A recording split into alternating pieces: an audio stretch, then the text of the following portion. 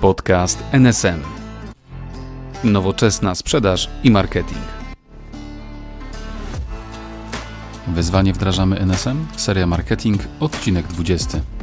Tytuł odcinka to Ruch organiczny w marketingu B2B. Dlaczego jest aż tak istotny?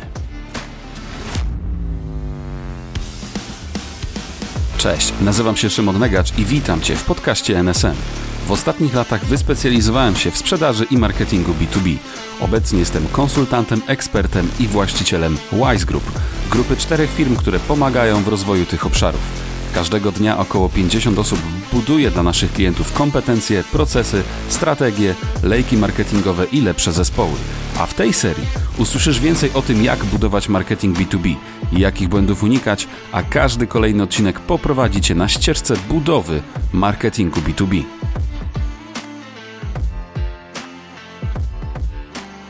Cześć, witajcie. Witam Was serdecznie w kolejnym odcinku podcastu Nowoczesna Sprzedaż i Marketing. To odcinek, który jak część z Was się zapewnie domyśla, jest bardzo bliski memu sercu. Dlatego, że e, ruchowi organicznemu do pary z content marketingiem bardzo dużo zawdzięczam w moim życiu. Można przyjąć, że ludzie, z którymi obecnie pracuję, firmy, które obecnie mam, e, dom nawet, w którym obecnie siedzę i nagrywam ten podcast, e, zawdzięczam te rzeczy po prostu ruchowi organicznemu i content marketingowi. Kiedy cofniemy się w czasie do roku 2018, kiedy zaczynałem swoją karierę z biznesem, własnym biznesem, to wybrałem inwestowanie w ruch organiczny nie dlatego, że to według mnie była wówczas najlepsza opcja, tylko wybrałem ruch organiczny dlatego, że była darmowa, a miałem na pewno znacznie, znacznie więcej czasu niż pieniędzy. W związku z tym ruch organiczny wydawał mi się niezwykle kuszący, wizja tego, że tworzę materiały, które później ludzie sami na nie trafiają, o czym za moment Wam opowiem, e, też była dla mnie bardzo kusząca. A że potrafię bawić się w grę o nazwie e, wytrwałość, no to ostatecznie doprowadziło to do tego, do czego doprowadziło. Więc w tym odcinku podzielę się z Wami moimi doświadczeniami z ruchem organicznym, właśnie e, z tym, czym różni się od ruchu płatnego, z tym, jak można sobie ruchem organicznym zrobić krzywdę, bo taką też sobie w karierze zrobiłem i musiałem się z tego szybko wycofać. I wkrótce opowiem Wam, czy aby na pewno ruch organiczny to tylko SEO. A w kontekście samego SEO również opowiem Wam, jak do niego podchodzę w firmach, w których e, chcę SEO rozwijać. Zatem, jeżeli szukacie ruchu organicznego w Waszym lejku marketingowym, na lepszy odcinek nie mogliście trafić.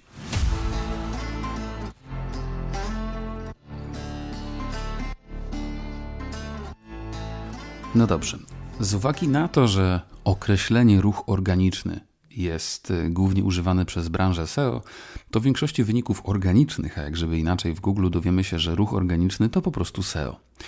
No i, ja to rozumiem nieco szerzej. To znaczy, ruch organiczny rzeczywiście możemy podzielić na ten typowo pochodzący z wyszukiwarki, gdzie mamy do, czynienia, do czynienia z ludzką intencją, którą to intencję też omawialiśmy w poprzednim odcinku dość mocno, więc powtarzać się nie będę.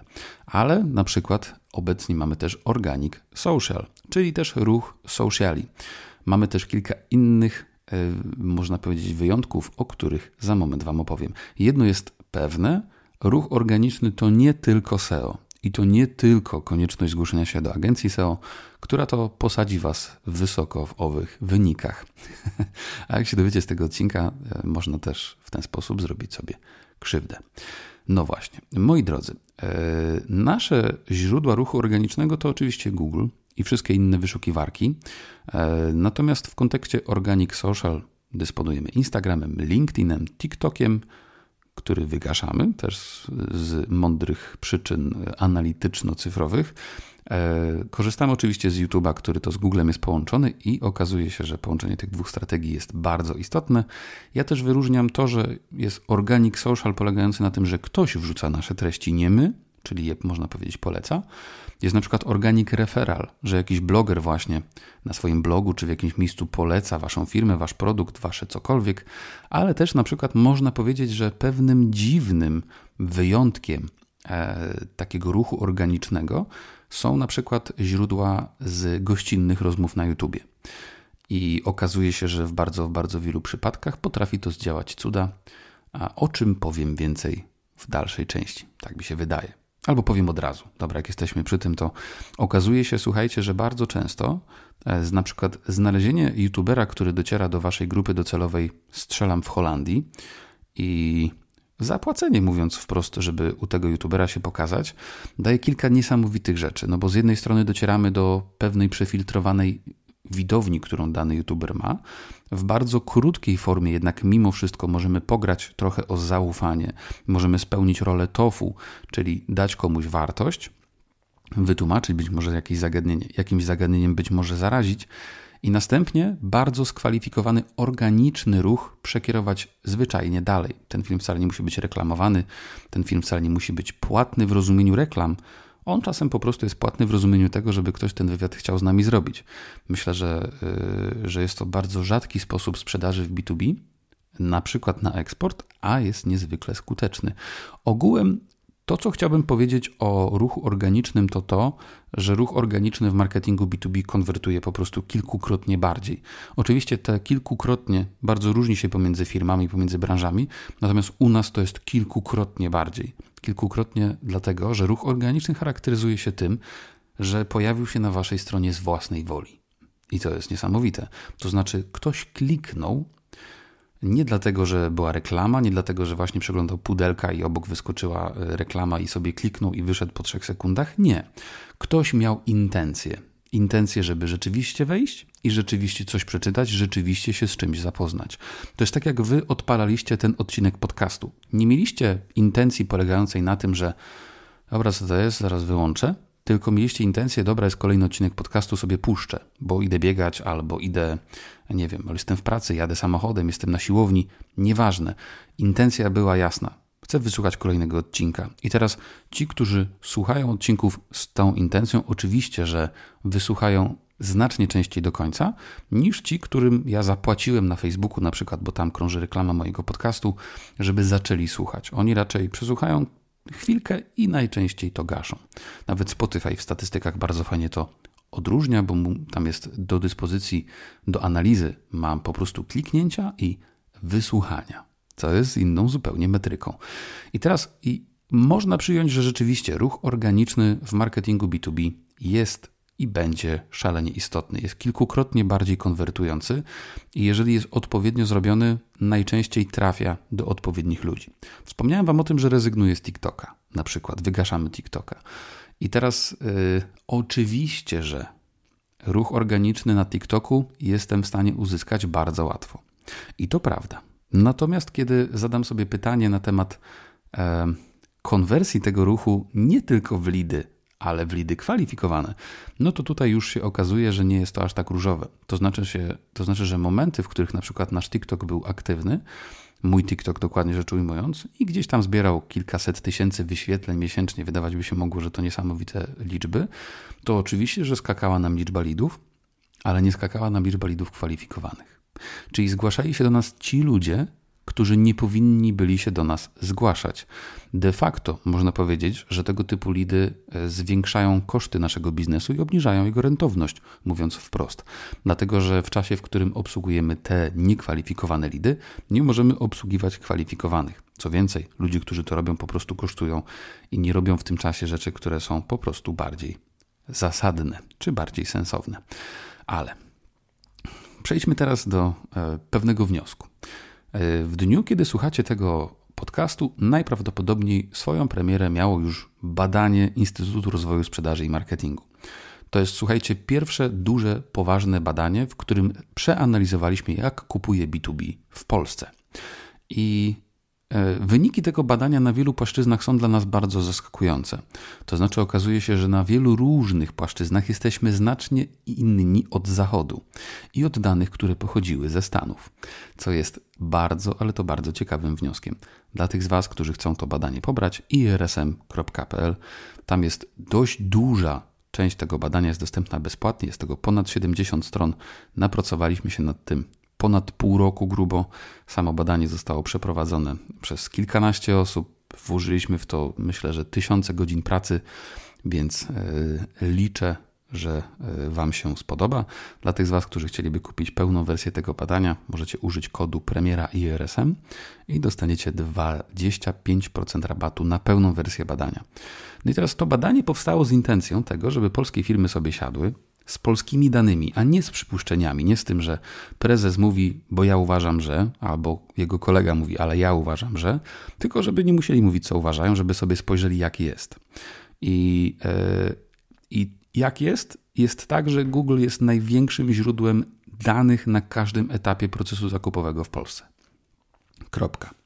I czy nam się to podoba, czy nam się to nie podoba, jeżeli nas w Google nie ma, to praktycznie można przyjąć, że nie istniejemy. I teraz oczywiście, że możemy się w Google pojawić w formie reklamy, naturalnie, ale możemy też pojawić się organicznie, z naszymi wynikami organicznymi. I teraz wniosek ten, mówiący o tym, że klienci korzystają z Google'a najczęściej na każdym etapie procesu zakupu, od samego początku, od wbicia łopaty w ziemię, do samego końca, do wyboru dostawcy. Na każdym z tych etapów Google jest numerem jeden. Kropka a jednak mimo wszystko przerwałem inwestowanie w tę strategię. Hmm. Jakim cudem? Otóż uwaga, e, znaczące inwestowanie w SEO doprowadziło u mnie do tego samego, do czego doprowadził TikTok. To znaczy, bardzo wiele firm B2B może sobie zrobić dużo krzywdy z nieodpowiedzialnym inwestowaniem w SEO. To jest trochę tak, jakbym e, zrobił sobie, e, jak zrobić ofertę taki wpis. No i w SEO świetnie, dużo ruchu mi z tego spadnie, ale okazuje się, że większość osób, które szukają jak zrobić ofertę, to są osoby z JDG-ami, najczęściej B2C, najczęściej jakimiś sklepikami małymi i tak dalej, którzy po prostu nie są moimi docelowymi klientami i nie będą. Nie potrafię pomagać tego typu firmom, to nie jest nasza specjalizacja. I teraz bardzo wiele z fraz, które wówczas miały dużo ruchu, więc jak mają dużo ruchu, to je zróbmy rzeczywiście doprowadziło do tego, że liczba lidów kwalifikowanych po prostu spadła na łeb na szyję. Dlatego w pewnym momencie z ekstensywnego inwestowania w SEO po prostu zwyczajnie musieliśmy się wycofać. I to samo zdarza się, kiedy na przykład firma bez zrozumienia tego zagadnienia trafia do agencji SEO, no bo agencja SEO nie ma prawa znać waszego biznesu może próbować, może zadać Wam trochę pytań, ale nie zna Waszego biznesu do cna. I bardzo często nasi klienci mają ogrom problemów z frazami, które agencja SEO wybrała do pozycjonowania. I teraz bardzo często okazuje się, że ruch z tych fraz, który przychodzi organiczny, de facto kosztuje Waszą firmę pieniądze, bo trzeba rozmawiać, odpisywać na maile, a to zwyczajnie nie jest ruch kwalifikowany. I to w B2B jest ogromnym problemem. W SEO tak naprawdę trzeba poszukać typowych fraz, które rzeczywiście wpisuje moja buyer persona. I najczęściej są to frazy typu long tail, czyli dłuższe słowa, nieco bardziej skomplikowane. Na przykład, y, ja chcę się pokazywać na proces sprzedaży B2B, ale na proces sprzedaży to już nie chcę. Chcę się pokazywać na frazy zdradzające intencję zakupową, na przykład, czyli agencja marketingu B2B, albo na przykład doradztwo sprzedaży, albo szkolenia sprzedażowe. To są frazy, które mnie interesują, dlatego że jeżeli ktoś wpisuje szkolenia sprzedażowe, to szansa, że jest jakiś zespół, który chce wyszkolić, jest duża, a nawet bardzo duża. Eee, szczególnie jeżeli ktoś używa, używa liczby mnogiej, czyli szkolenia, a nie szkolenie. I to jest bardzo ciekawa informacja. Na przykład okazuje się również, że konsulting marketingowy, wszystkie tego typu frazy, to są frazy, których nie wpisuje nikt przypadkowy najczęściej wpisuje je nasza buyer persona i ruch organiczny pochodzący z tych fraz jest absolutnie genialny. Dlatego pewnie zauważyliście, że w większości tytułów tych odcinków, które obecnie dla Was nagrywam, pojawia się to magiczne w marketingu B2B, a niekoniecznie w marketingu. Najpewniej, jeżeli bym komunikował, że ruch organiczny w marketingu jest świetny, to pewnie miałbym znacznie więcej ruchu organicznego, notabene, natomiast y, najprawdopodobniej miałbym jednocześnie znacznie więcej lidów niekwalifikowanych co w praktyce z perspektywy biznesu jest, mówiąc wprost, stratą. Kropka. I nie ma co tutaj tworzyć. Czyli wnioski z badania Instytutu o tym, że Google jest numerem jeden na każdym etapie procesu zakupu, z wnioskami, które podałem Wam teraz, pokazują, że raz, że Google jest najbardziej istotną strategią w marketingu B2B, żeby się tam pojawiać, bo czy chcemy, czy nie, nasz klient będzie tam szukał rzeczy. Kropka. Drugą jednak stroną tego medalu jest to, że trzeba zrobić to w sposób odpowiedzialny i za każdym razem zadawać sobie pytanie o intencje. Podobnie jest z samą frazą pozycjonowanie. O, to jest taka fraza, która w branży SEO z mojej perspektywy jest trochę jak siłowanie się na rękę. Przecież ten, kto jest pierwszy na słowo pozycjonowanie w Google, chyba potrafi pozycjonować. I świetnie, ale z branży wiem, że ruch pochodzący z tej frazy ma niezwykle niską kwalifikowalność, że ludzie, którzy w ten sposób szukają pozycjonowania, wpisując pozycjonowanie, zazwyczaj niewiele o nim wiedzą i zazwyczaj dysponują niewielkim budżetem i zazwyczaj bardzo rzadko są kwalifikowani. I teraz marketer, który zabierze się za projektowanie tego ruchu organicznego, musi mieć bardzo dużą delikatność dla tego tematu, żeby wiedzieć, co zrobić, żeby to dobrze zrobić i żeby sobie nie zrobić po prostu najzwyczajniej rzecz ujmując krzywdy. No. Ja też na przykład dla fraz z końca procesu zakupu, tych zdradzających intencję zakupową, bo jeżeli ktoś szuka doradztwa sprzedaży, no to już szuka doradztwa, szkolenia sprzedaży, agencja marketingu, rekrutacja handlowców, rekrutacja dyrektora sprzedaży. Na większość tych fraz zależy mi na tym, żeby oprócz wyniku organicznego, dla pewności jeszcze mieć reklamę. E, dwa takie wyniki, które tam sobie chodzą przy naszej liczbie wyszukiwań są warte wszystkich pieniędzy, bo teraz w dużym uproszczeniu jestem gotowy złowić każdą osobę, która szuka doradztwa sprzedaży w tym kraju i robi to świadomie. Paradoksalnie tych osób, które to robią w skali miesiąca, wcale nie jest wiele. Więc podsumowując, z jednej strony Google jest najbardziej istotny, kropka, a z drugiej strony e, Google potrafi wyrządzić dużo, e, dużo problemu w biznesie B2B, kiedy zostanie użyty nieodpowiedzialnie i udamy się po jakieś bardzo popularne frazy, które są wpisywane przez studentów, które są wpisywane przez kogoś innego niż ludzie, których, do których chcemy dotrzeć. I oczywiście, że te grupy nigdy nie są jednorodne, ale najczęściej na przykład wśród nich są studenci, którzy szukają znaczenia danego słowa, chociażby. I teraz e, z jednej strony jest wielu fanów na rynku, którzy mówią, to ja pójdę do agencji SEO i ona mi zrobi SEO. No i ja tak nie lubię robić. I teraz agencje SEO, które słuchają tego odcinka, pewnie będą rozemocjonowane, ale nie do końca, zaraz o tym powiem czemu. E, przede wszystkim, jeżeli mam gotową stronę, jakąkolwiek stronę, załóżmy, że w ramach wyzwania ją zrobiliście, to to, co robię, to niezależnych agencjach dwóch, trzech zlecam audyt SEO. Zlecam audyt SEO za 1, 2, 3, 4 tysiące te agencje niezależne robią mi audyt SEO, wysyłają PDF i raz dostałem PDF na przykład na 120 stron z dokładnymi instrukcjami, co w mojej stronie pod kątem technicznego SEO powinienem poprawić. I to, co ja robiłem, to po prostu dawałem to moim ludziom i oni krok po kroku poprawiali wszystkie te rzeczy. Natomiast traktowałem to bardziej jako, można powiedzieć, e, przygodę jednorazową, która była realizowana raz i bardziej jako coś, co dawało mi sposób na stworzenie jakichś tam podstawowych procesów. Że jeżeli ktoś na przykład robi jakieś linkowanie wewnętrzne, dodaje y, jakiegoś, y, jakąś podstronę, czy dodaje jakiś obrazek, to są reguły, których trzeba się pilnować. Ja słuchajcie, nie będę robił wam tutaj, nie będę was uczył SEO, bo ani nie jestem w tym obszarze mistrzem świata, jestem po prostu zwykłym przedsiębiorcą, który korzysta z tej strategii, świadomie bardzo w swoich lejkach. Natomiast są ludzie mądrzejsi ode mnie, którzy Was nauczą tych technikaliów. Ja wolę to zlecić agencji, dostać 2-3 raporty i jednorazowo zoptymalizować całą moją stronę. I kropka. Drugą rzecz, którą robię, no to Wy jesteście teraz w uprzywilejowanej sytuacji. Macie pomysły na tematy, macie pomysły na tofu, macie frazy i teraz to, co robię, to robię content plan analizuje szukane frazy, czy z użyciem Semstorma, czy z, z użyciem Senuto, czy z użyciem Ahrefsa, czy z użyciem, e, już teraz nie pamiętam jeszcze tej jednej aplikacji, z której korzystamy. Czemu nie pamiętam? Semrush. O, z Semrasha korzystamy teraz chyba najczęściej. Semrush też robi bardzo fajną robotę.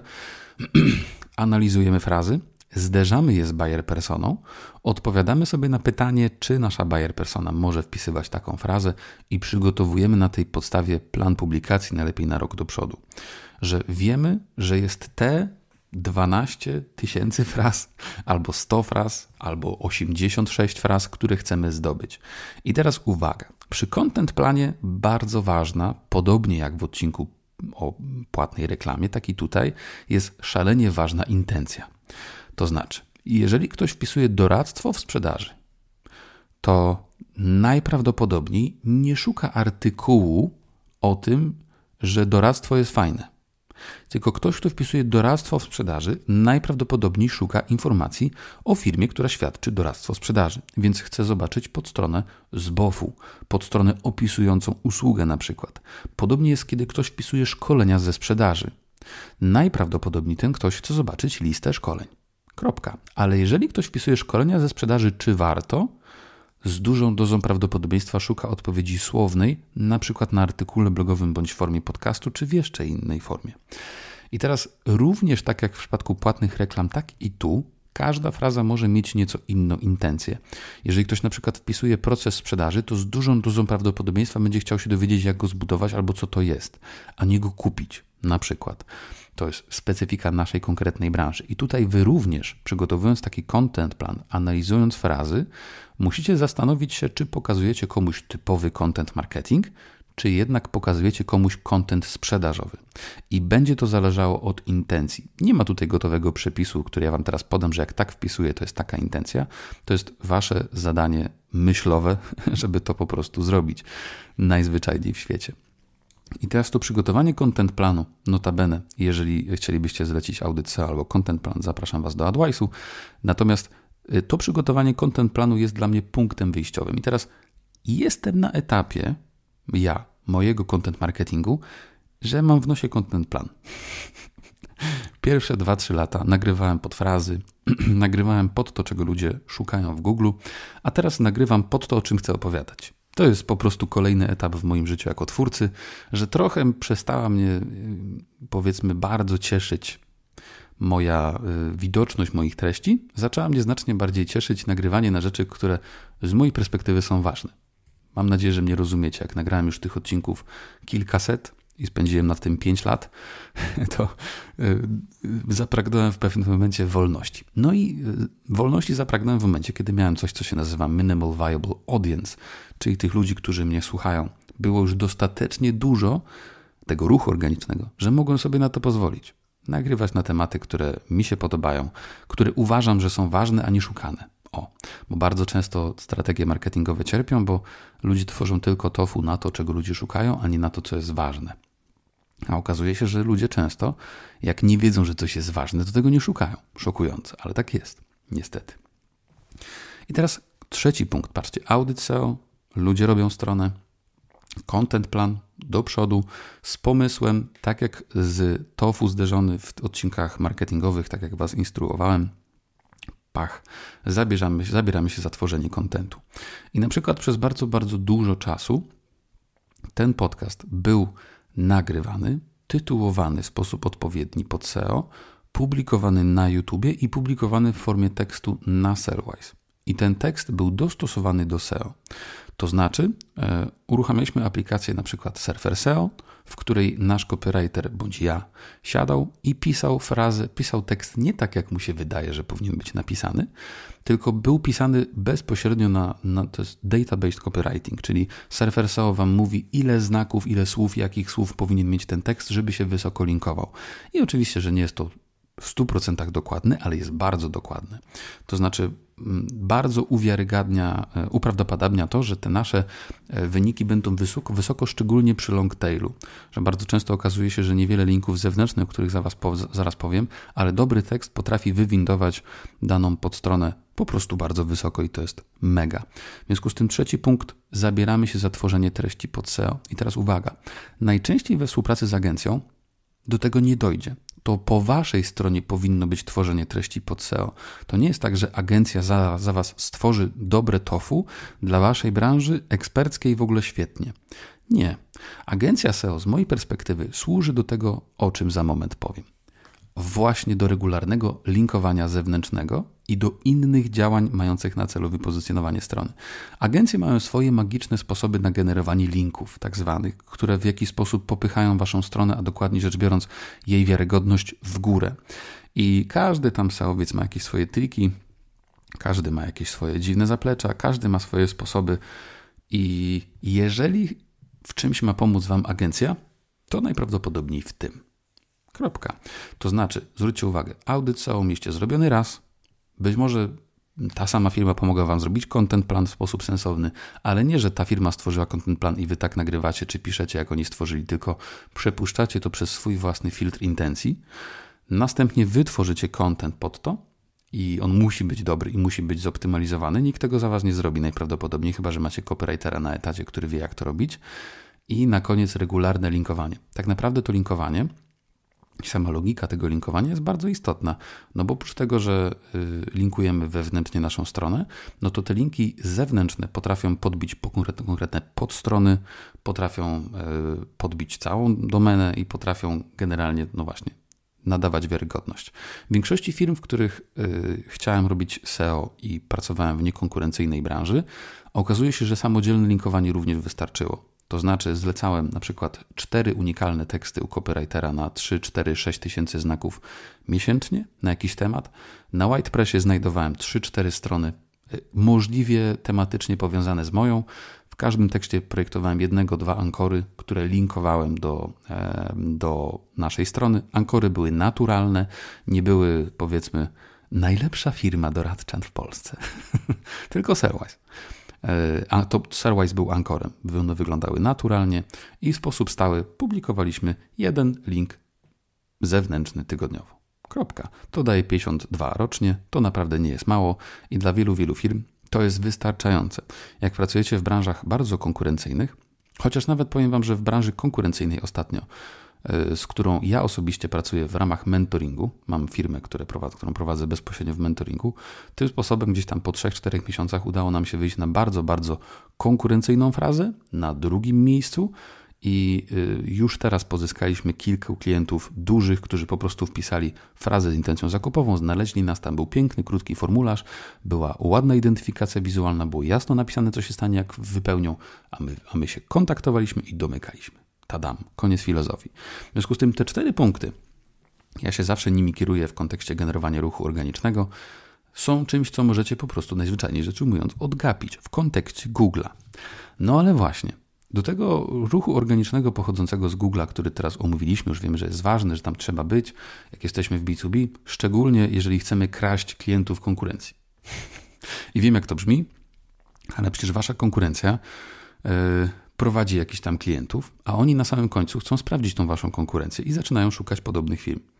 No i teraz fajnie by było się im tam pokazać najzwyczajniej w świecie i być może ukraść im klienta, być może bardziej go przekonać do zakupu akurat u nas. Eee, why not?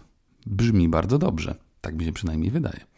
No i właśnie, e, idąc dalej, wyżej wymieniłem też takie rzeczy jak Instagram, LinkedIn, YouTube, i tak dalej.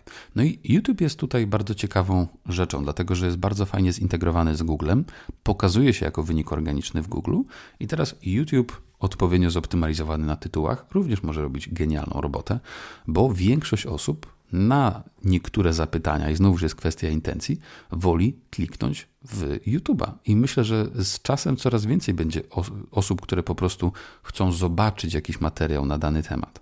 W związku z tym YouTube pewnie będzie coraz bardziej istotny w tego typu, e, w tego typu marketingu. I też YouTube, w którym wcale nie musimy mieć pod nim 100 tysięcy wyświetleń, tylko na przykład 300. I na 300 wyświetleń było to 100 supersensownych osób, na 100 supersensownych osób 50 się zgłosiło, 20 zostało naszymi klientami, którzy kupili u nas za 5 milionów rocznie. Tak trzeba żyć i tak trzeba myśleć o marketingu B2B. Nie jest tutaj ważne to, żeby te materiały miały niesamowicie daleki zasięg, ważne jest tylko to, żeby trafiały do sensownych ludzi, do których my chcemy trafić. No i teraz, jak weźmiecie wasz lejek i już zaadoptujecie do każdego etapu procesu zakupu, który macie zmapowany na początku tego wyzwania, zaadoptujecie sobie ruch z Google'a, tam, gdzie nie macie jeszcze organicznych wyników, być może kupicie sobie reklamę po prostu w sercu, najzwyczajniej w świecie. Dochodzimy do momentu, w którym czas trochę na taką, można powiedzieć, zabawę. No bo Instagram dla mnie na początku był zabawą, a w tym roku okazało się, że jeżeli wrzucę tam jakieś szkolenie, to na przykład 100 tysięcy złotych da się sprzedać w dwa dni z takiego postu. Hm. Ciekawe, nie? A to jest właśnie ta różnica wynikająca z, ze jakby z ruchu organicznego, a nie z reklamowego. To znaczy są ludzie, którzy w jakiś sposób obserwują, ufają i kiedy jest coś do kupienia, co okazuje się być dla nich wartością, to po prostu to robią.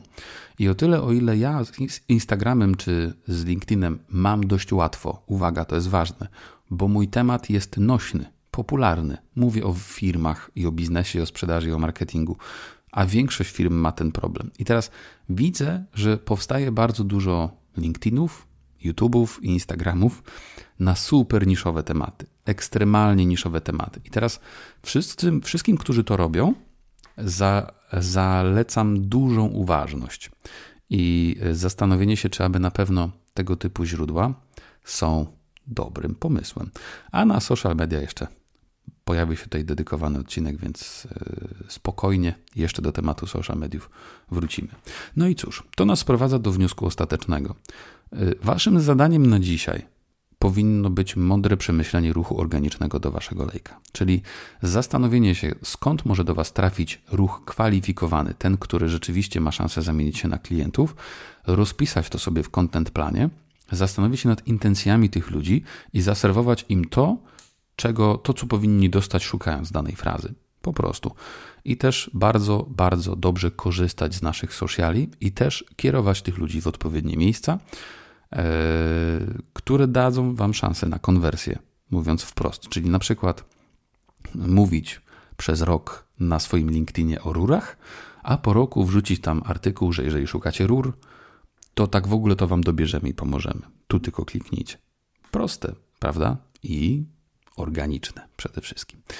No i ta strategia z początku, YouTube gościnny, absolutnie niesamowicie polecam. W bardzo, bardzo, w bardzo wielu branżach może zdziałać cuda, chyba że osoba, która na wywiad pójdzie, gada głupoty, nie budzi zaufania i e, wygłasza jakieś bardzo ryzykowne tezy, wtedy ten YouTube po prostu też nie działa i nikomu nie pomoże. Dobrze, moi drodzy, zachęcam Was do zrobienia zadania domowego, rozpisania źródeł organicznych do Waszego lejka, który macie już, mam nadzieję, gotowy. E, który już macie pewnie w większości przetestowany. Na to liczę i trzymam za to zadanie kciuki, a w międzyczasie zachęcam Was do wysłuchania podsumowania, gdzie tradycyjnie kilka ogłoszeń. No dobrze, moi drodzy. W ramach podsumowania rzeczywiście najważniejsze obecnie to premiera badania Instytutu Rozwoju Sprzedaży i Marketingu, badania jak kupuje polskie B2B. Pamiętajcie, że jest ono dostępne bezpłatnie, jest ono duże, wielkie. Dla tych z Was, którzy będą chcieli otrzymać wersję płatną, do wersji bezpłatnej jest dodana informacja, co więcej zawiera płatna. Nie wiem, czy to dobrze teraz powiedziałem, ale pewnie wiecie o co mi chodzi. Eee, kropka. Moim marzeniem w kontekście tego badania jest to, żeby właśnie, tak jak wspomniałem w odcinku, ludzie usiedli i nie przerzucali się tym, co im się wydaje, jak kupują polskie firmy B2B, tylko żeby oparli swoje działania na tym, jak jest w rzeczywistości i na tym, jakie są fakty, bo to w dużym uproszczeniu w sposób znaczny zwiększa prawdopodobieństwo sukcesu. To znaczy, nie strzelamy na oślep i mamy większe szanse domknięcia. Dobrze, moi drodzy, na zakończenie tego materiału mam kilka ogłoszeń. Szukamy specjalista marketingu B2B dla firmy oferującej aranżację i wyposażenie stref treningowych z Warszawy. Ciekawa rekrutacja. Koordynatora marketingu dla dealera samochodów Mitsubishi i Nissan do pracy w Warszawie. Specjalistę marketingu B2B dla firmy z branży technicznej do pracy w Katowicach i project managera oraz specjalistę Google Ads do naszego AdWise'u. A wszystkie te ogłoszenia znajdziecie na hirewise.praca e, i tradycyjnie zarówno, jak, zarówno do badania, jak i do ogłoszeń o pracę znajdziecie link w opisie tego odcinka.